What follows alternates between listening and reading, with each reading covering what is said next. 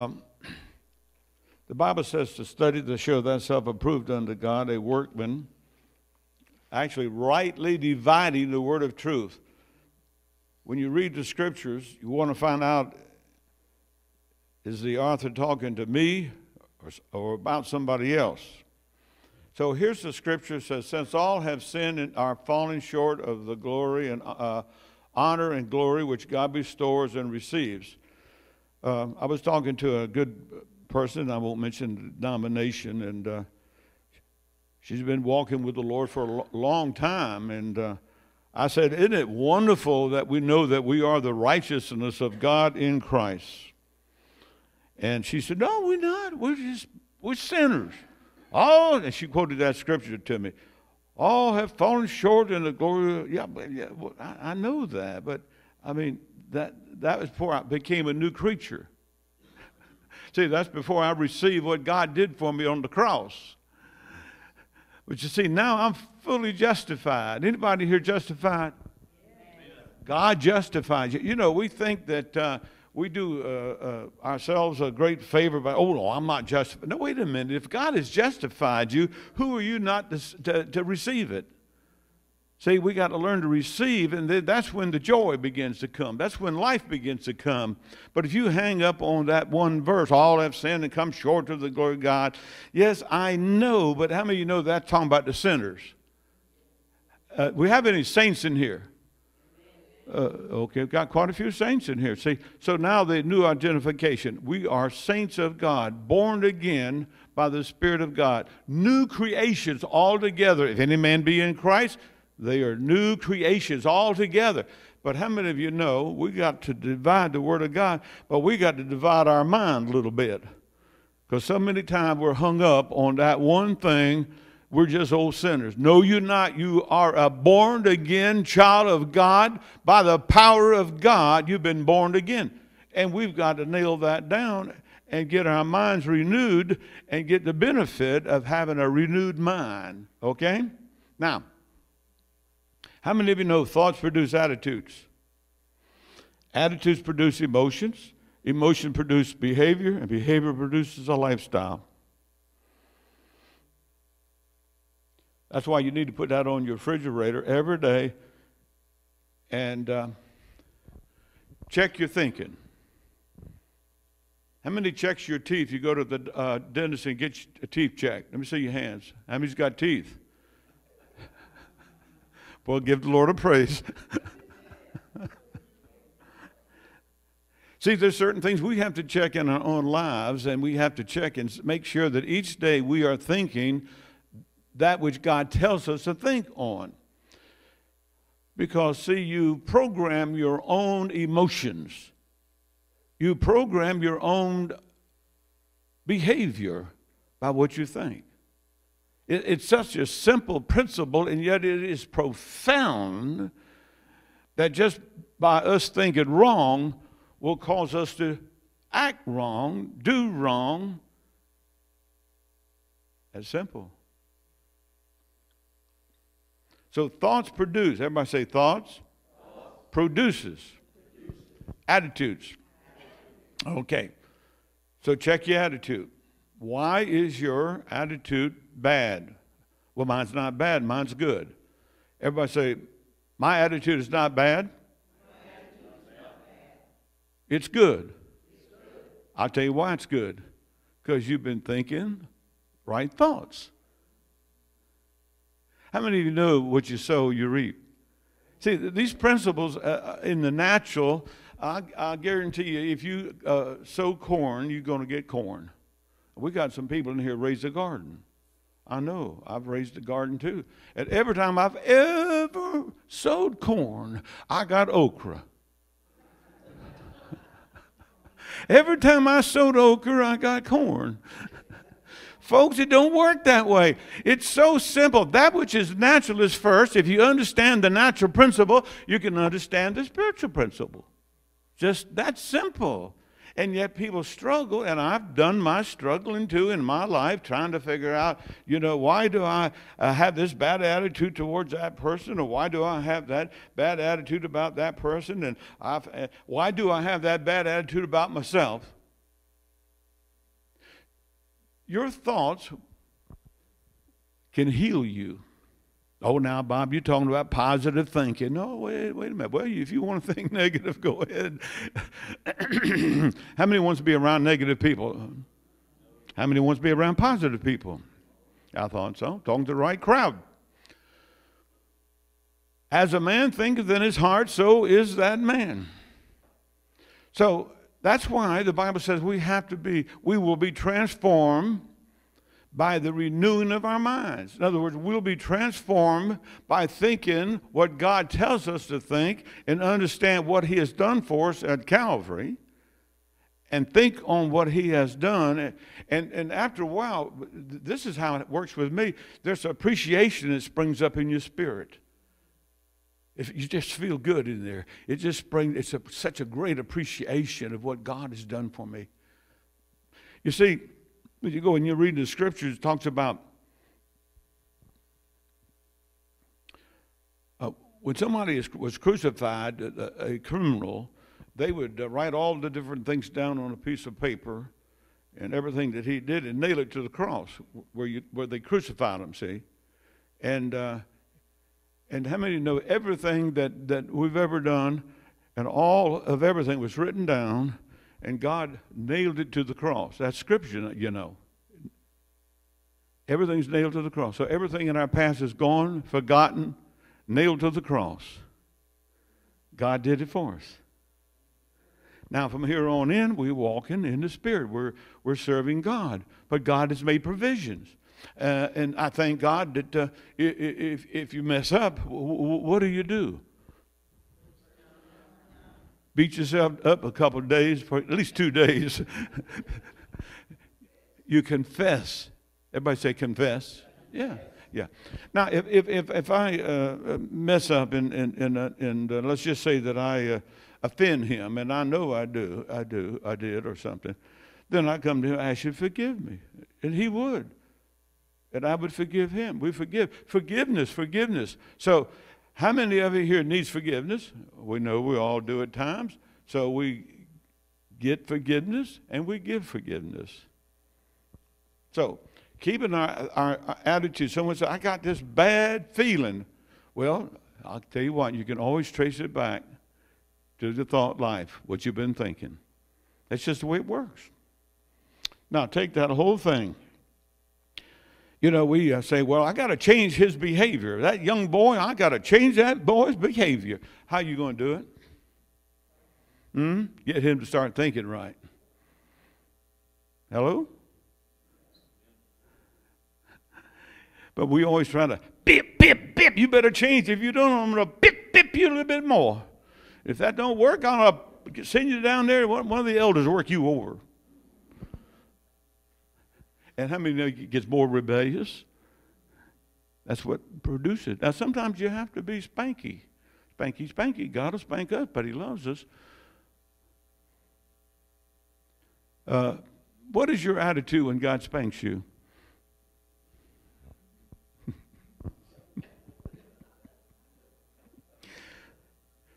Some of you, like parents, you, I don't know. You, now, listen, if you're a child of God, you'll get spanked. You know your Bible. I don't have to quote every scripture to you. That's in Hebrews. I remember one time God was spanking me. And usually I uh, would have a self pity party. Anybody ever had a self pity party besides me? Oh, we all have. But how many, you know, I sold my pot. Get rid of your pot. You know, the, you're not going to move the Lord like that. You know, you can sit on it as long as you want to, if you want to. But I have learned, I have learned that God has made provisions. And and, and I keep my mind. Now, that, this is where the warfare is. How many, how many of you know that? I'll guarantee you today, you, every one of you have had some thoughts today you had to cast down, didn't you? I know some of you thinking about that piece of lemon pie that was in the refrigerator, and I hope I can get home before Jimmy does, because I know him; he'll eat it. I about how many's had some bad thoughts in their mind today? You, I look at the honest people. rest of you saints, okay? Well, you are, you're saints. But there's monitor your thought. You might not even realize that some of you are thinking, I'll tell you something. Some of your thinking is not your thinking. The Bible says, give no place to the devil. Where do you give place to the devil? Tell me. Right there in between those two ears, right there, in your brain. You start thinking about you ain't no good and nobody loves you, I'll guarantee you, I'll guarantee you, you just pull yourself right down. You have, and you've got to be strong in this thing because thoughts are powerful. Can you imagine somebody that might have a thought like, nobody loves me, I'm going to shoot myself? And we've had a few folks do that over the years. Keep your thinking straight. Think. Everybody say, think. Now, that's a process, and that's, that's, hard work. But I want you to see this other scripture, verse 24, right below this now. That's what we used to be. And if you're thinking that way now, you'll always think about you're just an old sinner and you're no you're, rotten and God, you know, you're never you don't you just didn't you listen. Whoop! All are justified and made upright and in right standing with God freely and graciously by His grace, His unmerited favor and mercy through the redemption which is provided in Christ Jesus. Now that's what you think on. That's what you think on. Write that scripture down. Put it on your, uh, on your refrigerator. Every day you thank God for the redemption that's been provided through Christ Jesus our Lord. See, this thing can't be just once a week deal. It's got to be a 24 7 type of thing. Because the devil is deceitful and he'll deceive you and get you to think it a certain way and it will affect your attitude about yourself, about your family, about your husband, about your wife, about everybody at work, everybody at church, and it'll come over in your behavior. See, it's very simple. It is not complicated. Well, Bob, are you laboring on this? You, you got it, babe. I'm laboring on this because I want to see every one of God's people walk in victory all the time because I know the struggle. and that's where the fight is, right up there in our brain. This one guy said, You know, the boss uh, sent somebody out during the day, and uh, they said, Now, it was about, uh, they went to work at 8 o'clock, and, and somebody came out and says, The boss wants to see you at 3 o'clock this afternoon. Now, from 8 to 3, what do you think is going through that person's mind? Right. How many knows what's going on in that person? The devil start working. Boy, what, what, he's going to get on your case now. He found out about what you did last week. He's going to let you have it, but good. And uh, uh, you just uh, about three o'clock, you come in there and you're a nervous wreck. Oh my goodness! You sit down. He said, "Oh yeah, uh, Mr. Tilden says we, we we need another foreman here. We're going to promote you to be a foreman." Oh, gee whiz, thank you. You walk out of there and you're sweating. How many understand what I'm talking about? So we have to learn down. So what, what do you do with these thoughts that you know that is not from God? What do you do with these thoughts? You cast what? Them down, casting down every imagination and every high thing that exalts itself against the knowledge of God. And that's our responsibility. Okay? God won't do it for you. That's what we got to do.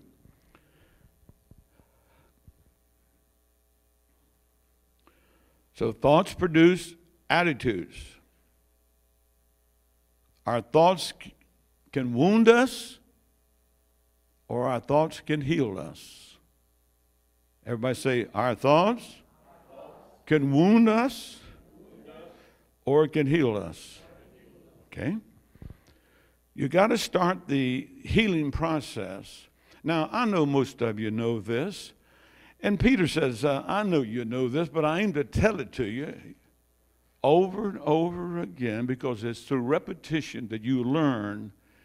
And some of you might have been moving off the, you know, the straight and narrow path in your mind, and I'm trying to bring you back now and into the line of victory. By thinking on what God has done for it. Now look at that scripture. All are justified. Now who's that all? That's what I want to know. Who? Who? Who's that all? Huh? Is that you? That's me. That's us. All are justified and made upright and in right standing with God. Now wait a minute. I got to get good enough to get justified. I sure got to do something. No, you don't. No, no, no, no. That's what Jesus did that.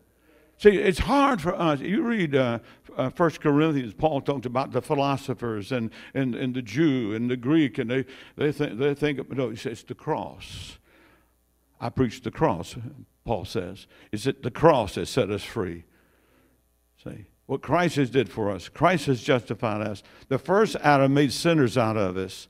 The last Adam from heaven made saints out of us. And we didn't have to lift a finger to do it other than to believe. And that's why it's so important to speak what you believe. Mm. Everybody, look at that last part of that scripture again. Through the redemption which is provided. Who provided that redemption for us? See, everybody say, Jesus. Yeah, but you got to be water baptized and you got to join our church and you got to be uh, have our elders lay hands on you and no, no, no, no, no, no, no, no. It don't say that. Death and burial and resurrection.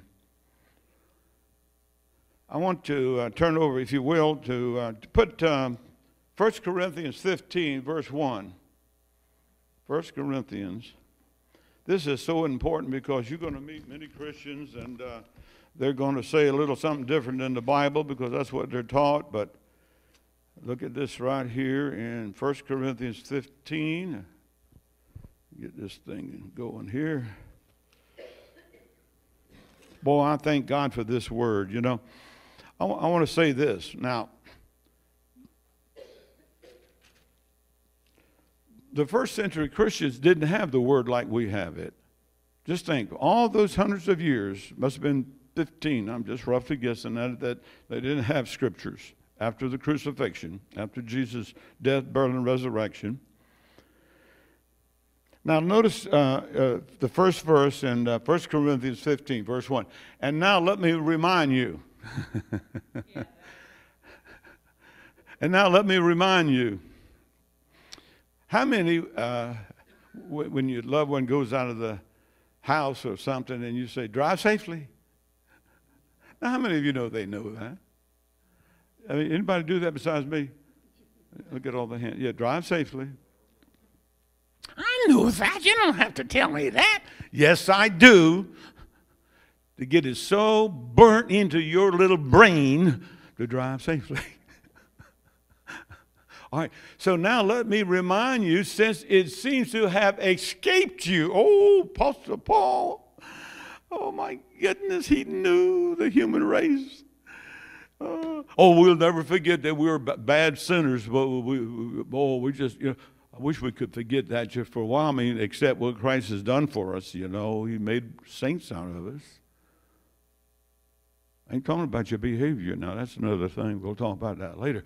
But since it has escaped you, brethren, of, notice, of the gospel, the glad tidings of salvation, which I, the Apostle Paul, proclaim to you. Not Peter, James, and John, but I, Paul, which you welcomed and accepted, and upon which your faith rests. Now, notice what it says the glad tidings of the gospel of salvation that I preached to you, Paul said which he got freshly from the risen Lord. Look at the next verse. And by which you are saved. Well, I say that's an important salvation. What is that salvation, Paul? Because we are saved by that salvation. What is it? If you hold fast and keep firmly what I preach to you unless you believed at first without uh, effect and all for nothing. In other words, you didn't really believe it in your heart. You didn't accept it in your heart. You just didn't, you know, you just said, yeah, yeah, but you really didn't believe. Notice, by which you are saved. By the gospel that Paul preached. Look at the next verse. For I passed on to you first of all what I also had received that Christ, one Messiah, the anointed one, died for our sins in accordance with what the scriptures foretold, which was in the Old Testament, by the way. Nigh thee, even in thy mouth. Next scripture. That he was buried and that he rose on the third day, as the scriptures foretold. Death, burial, and resurrection.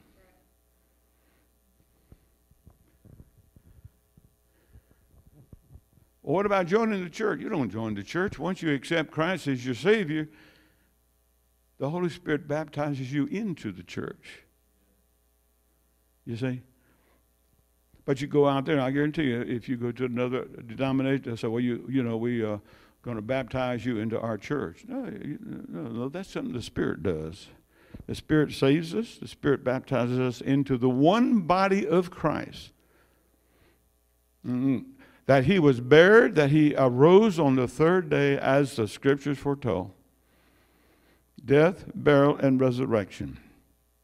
Now, other things like uh, being functioning in the, in the body where Christ, bat, where the Holy Spirit baptized us into the body to function uh, in Christ. Uh, Michelle brought a good uh, four or five nights on, on how now that we're now that we are members of the body of Christ, we're to function, and all of y'all function. So we all function in our place. We stay in our lane. We don't cross lanes. Stay in our lane. Whatever lane you are in, that's what you function in. Simple, not complicated. See. Now look at the next scripture. And also that he appeared to Peter, then to the twelve. Now he's substantiating the resurrection. And, and one more scripture on the next one. Then later he showed himself to more than 500 brethren as one time, the majority of whom are still alive, but some have fallen asleep in death. So that's pretty good. The 12 disciples, 500 brother testified that Jesus was raised from the dead. Here's what people don't understand. Do you know why you believe? God gave you the faith to believe. He gives every man the measure of faith. See how a dead man cannot raise himself. We were all dead in our trespasses. God, in His mercy, while we were sinners, allowed His Son to go to the cross and die and pay for the payment. He provided salvation for us. Then He came, and I remember the day I walked that aisle, there was no invitation. The, the, the, the preacher was uh, making announcements.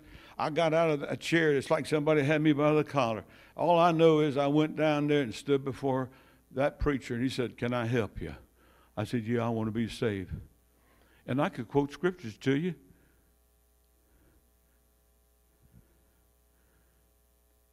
But when Christ saved me, the Spirit of God came into me.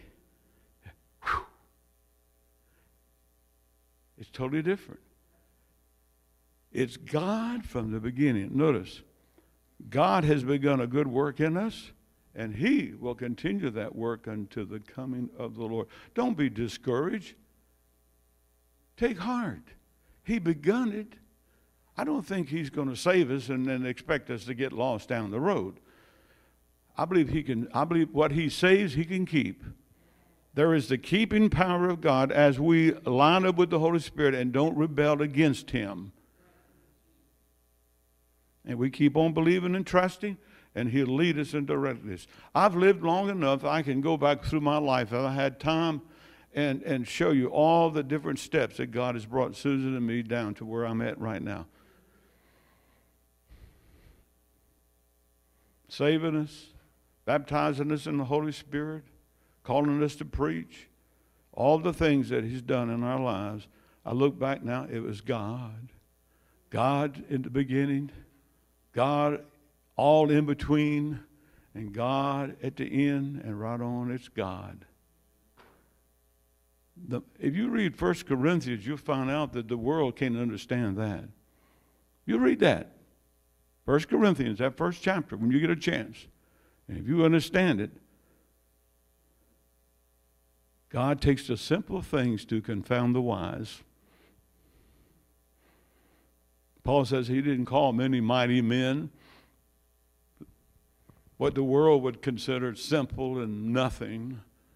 God takes, makes Moses out of them, makes men and women of God out of them. Because it's God. It's God.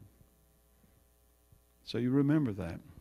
So your thoughts stay on the Lord. How many of you know that He's coming back for those that are looking for His appearance? So if you're looking for His appearance, you've got to be thinking about it. So, what is in your brain? You really want to know, Bob? No, I don't. don't shock me. I doubt if you'd shock me. you wouldn't shock me. Put that on your refrigerator and you think about it. Now, we're going to go to time, moving along here. Um, I want to turn to Philippians 4. And we're ready for some more in Philippians 4. Yeah.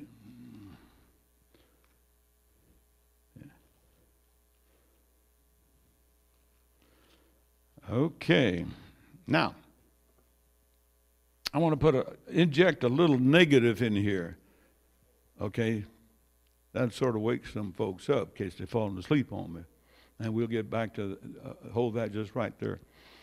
Uh, how many of you know that murmuring is sin? Okay, murmuring is sin. You read the stories about the Israelites, and don't particularly care to read that, but uh, because of their murmuring, uh, God gave them what they desired. it wasn't too good either. You know, I can honestly say that, that, that be, uh, uh, God, thank you for not answering some of my prayers.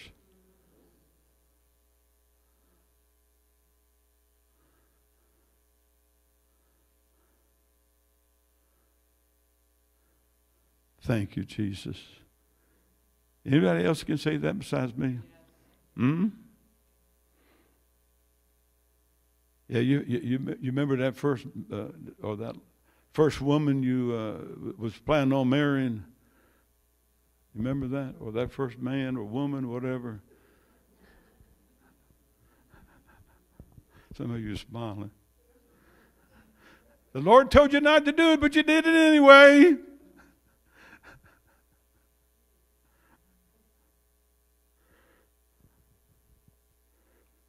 So don't murmur. Just rejoice. And look what it says here in uh, Philippians uh, 4 4. I love it. Mm. Now, rejoice in the Lord always. Uh, that can't be. It must be rejoice in the Lord once in a while. Uh, let me tell you something. when, let me tell you when you really I, I, love to rejoice when the Holy Spirit's rich. You know, it's so easy to say, rejoice, rejoice, rejoice, rejoice, rejoice. Boom, boom, boom, boom, boom. Rejoice. It's so easy when the Spirit's moving through the building, but everything's dead. Now rejoice. That's the test of your faith. Rejoice in the Lord always. I think about uh, Paul and Silas. They, there they are in that dungeon. I was thinking about that today. I said, Lord, that is awesome. I mean, the, the sewer run through the, the thing. It, it wasn't like they have TV and all they have in jail today. People, my goodness, horrible. And he writes this down Rejoice. Always delight, gladden yourself in him. In case you didn't hear me the first time, I say it again rejoice. I say, Paul, how can you say that under the conditions that you and, and Silas was in? Because he knew if he had a self pity party, that would have been the, that would have been the end of it.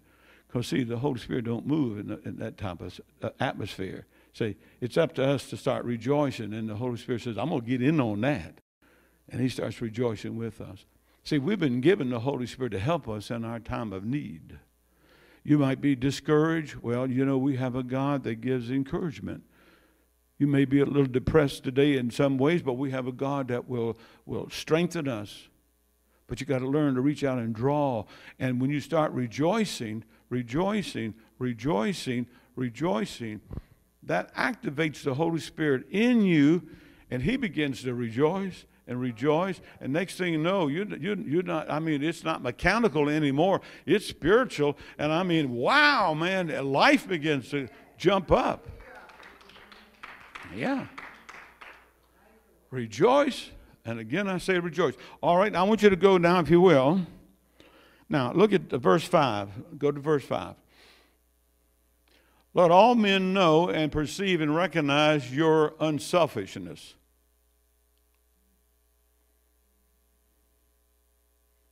Now, uh, William is at the table, and there's one piece of chicken on that plate.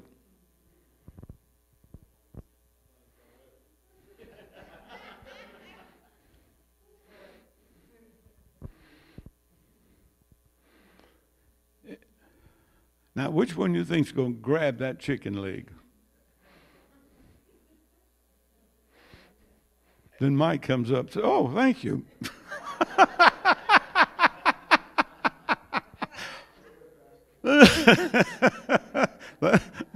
okay. Unselfishness, your considerationness, your forbearing spirit. Let, let, me tell you, some folks, you just got to forbear with them. I thank God for my wife for bearing for me, to, you know. You, you know, you might think I'm somebody easy to live with, but I growl when I sleep.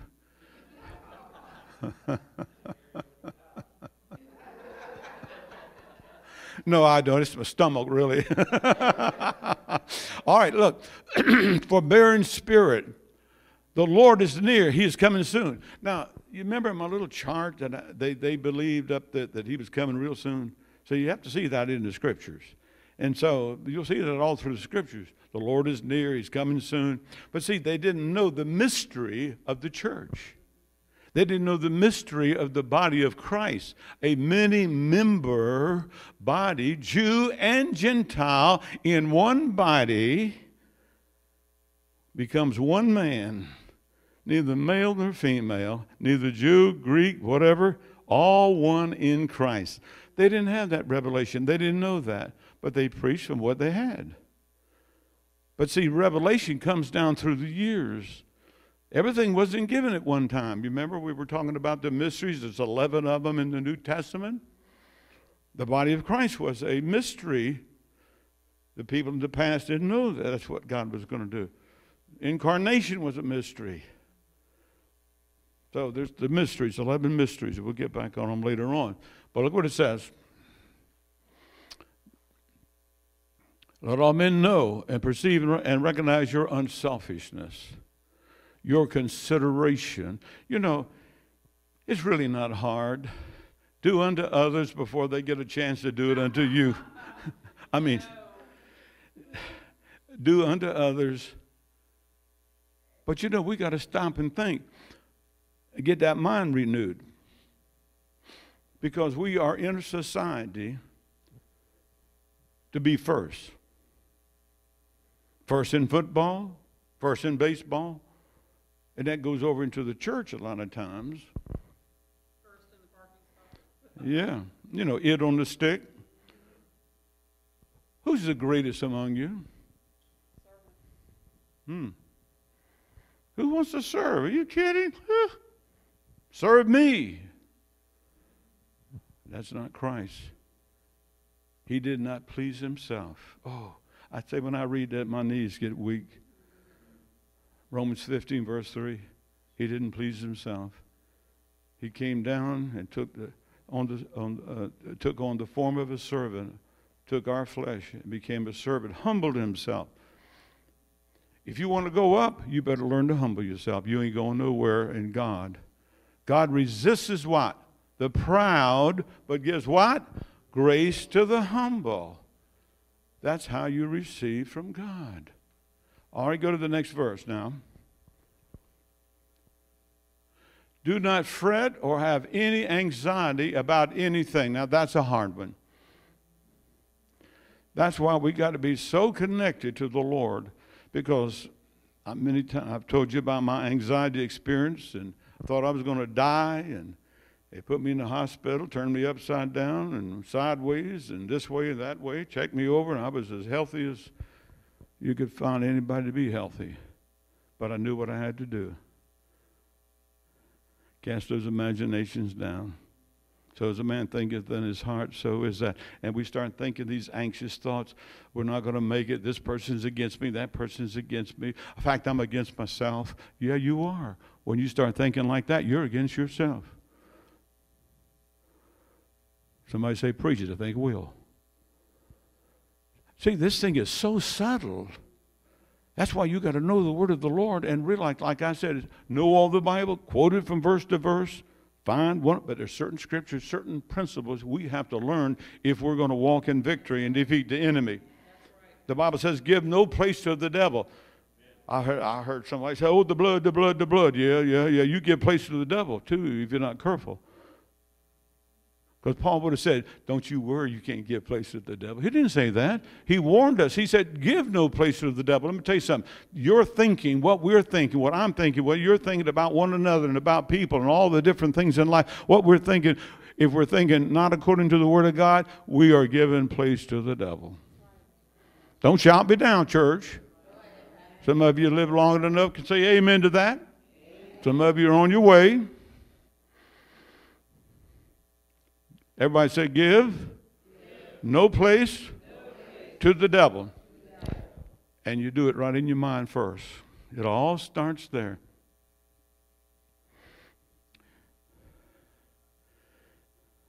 You know why I ate that ice cream that was in the refrigerator? Boing. ice cream in the refrigerator.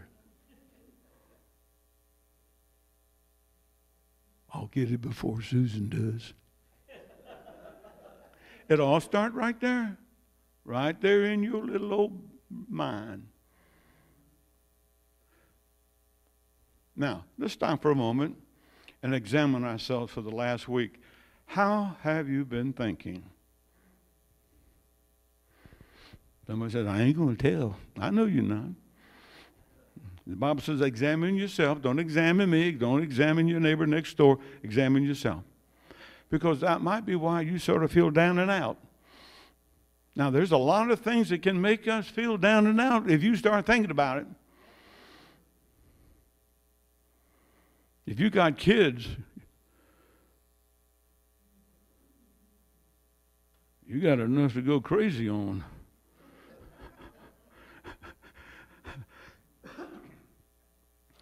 If you got grandkids, you can be in the nut house in a real quick time if you didn't know how to handle this up here. If you got great kin, great kin, great, great grandchildren, we'll be at your funeral. Scratch those thoughts. Thank you, Lord. But, but you see, we got to know to handle that, how to handle all of that. All these thoughts come into our mind, they're all in the air, and you watch TV.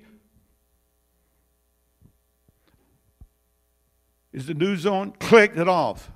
I'm getting that way. I used to just enjoy, you know, you watch California, it's burning, I mean, the whole East the whole uh, what do you call it? Gulf, not Gulf, but West West Coast. It's off the map. It's burning all up. All the houses, thousands of them. My goodness. Then there's a tornado over here. The president is tweeting everything. I have never seen it like this in all my life. But I've read the Bible. And I'm not going to worry about it because here's what it says Do not fret or have any anxiety about what's going on in the world, but in every circumstance and in everything, by prayer and petition, definite requests with thanksgiving, continue to make your wants known to God. That's the answer right there. You write it down, you nail it down, you put it on your refrigerator, and you, that's what we, we do every day. Every day you do that. Go to the next verse. God's peace. Woo! See the constant. See the uh, the uh, the uh, sequences there. You did that first verse, and then what happens? What will, what will God do? God's peace shall be yours. That tranquil state of a soul, assured of its salvation through Christ, and so fearing nothing from God and being content with its earthly lot. Did you, I'm going to stop right there for a moment. Some people, and, and I know how it is, and I've been there too, they're just not satisfied where they is. But the trouble is, I see them, God moves them from there down the road, puts them way over here, and they still ain't satisfied. Something's wrong.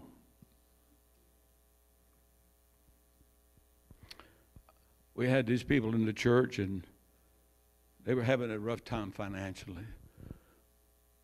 Pastor Bob says, Sue, would you pray that God would bless us financially? I said, Lord, if I did, you know, are they going to still serve you? And, and because I found that sometimes people uh, get blessed, they quit serving God. And so we prayed, Lord bless them. Well, anyway, what a blessing. The blessing came. Uh, his father, doing Hugo, uh, was driving down 61 and a horse ran out in front of him and he swerved to miss the horse, hit the tree, and killed himself but he had a whole lot of money. And they inherited a whole lot of money. And I hadn't seen them yet since.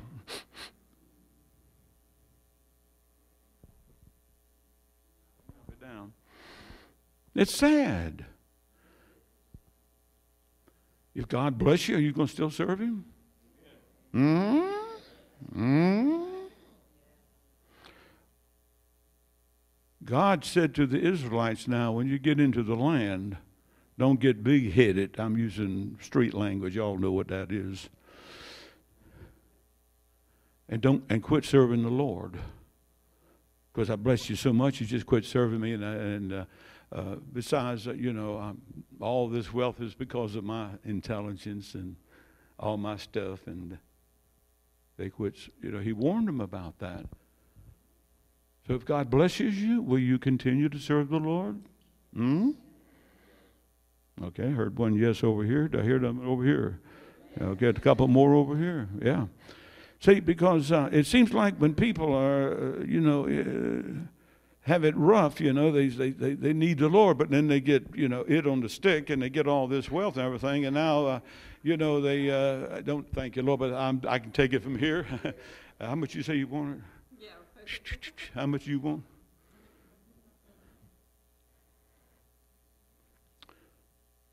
So there's so much for us to learn, but see, there's the thought life again. You start thinking wrong, see, and we got to come back. But look at that scripture. That is powerful.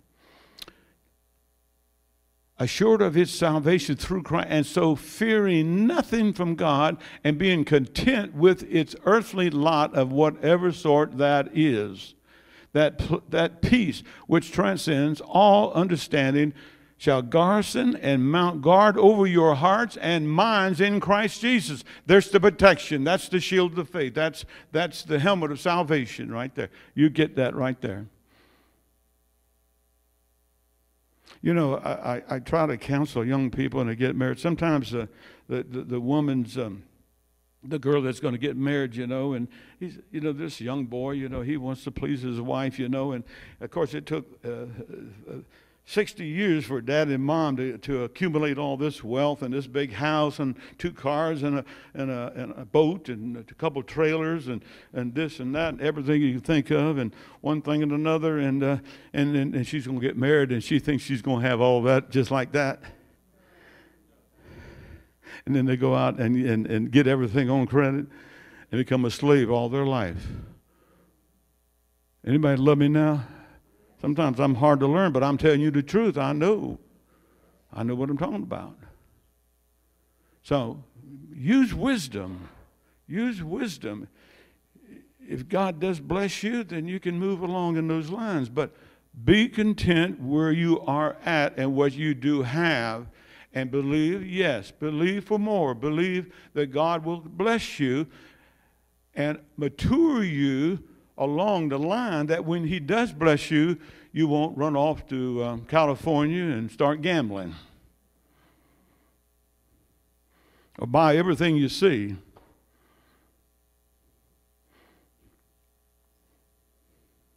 Sometimes I think I said this one time you open uh, Susan's uh, closet, you know, and uh, you see all these dresses, all this stuff she has, but she accumulated over the years, and our girls give her so much, and people give her a lot.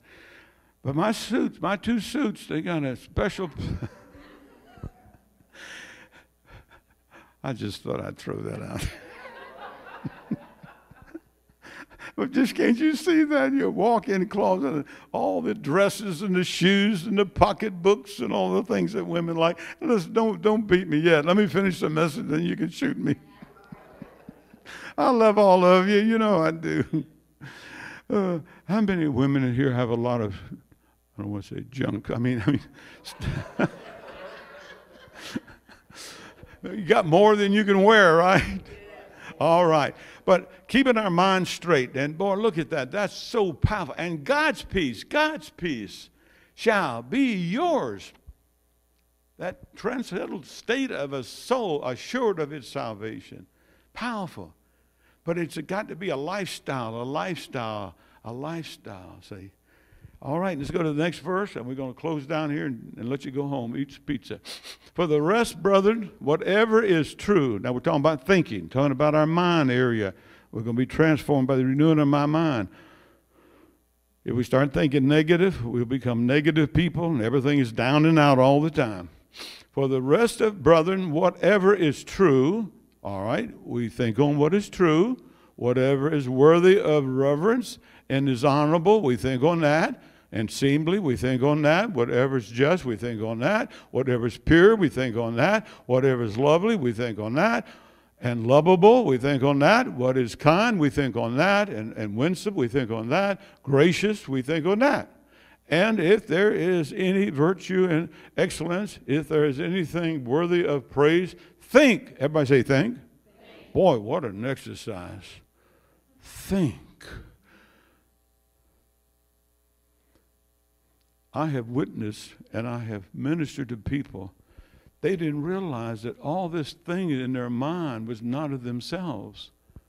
It's either your thoughts or the enemy's thoughts that he projects, those are what you call the fiery darts of the enemy, right into our minds to control God's people and get them to be like him instead of like Jesus. This is the warfare, saints. You know yourself this last week, this what you've been thinking about. Look, actually, if there is anything worthy of praise, think on and weigh and take account of these things. Fix your minds on them. Powerful. Mm, mm, mm. Now look at verse 9, and then we'll close on this one. Somebody said, Praise God. Practice what you have learned here tonight, and received here tonight, and heard here tonight, and seen in me, and model your way of living on it. This is why a minister is to set an example for the flock. And the God of peace, of untroubled, undisturbed well being, will be with you. Powerful. One, two, three, four, five, down the line. Now, if you, your mind's been wandering, I'll guarantee I, if I was a betting man, as you were here in here tonight, it's amazing the different thoughts came into your mind as I was teaching and preaching. I've often thought about a little red uh, light bulb, you know, and Every time you could, you could hook the person up, you know. And I know you're tired. You had your time. How many love me tonight? I'll have a little red button on mine too. Bob, are you thinking that? You're the preacher. no, get out of there, devil. I can see the lights go boom, boom, boom, boom, boom, boom. then all of a sudden one explodes over here.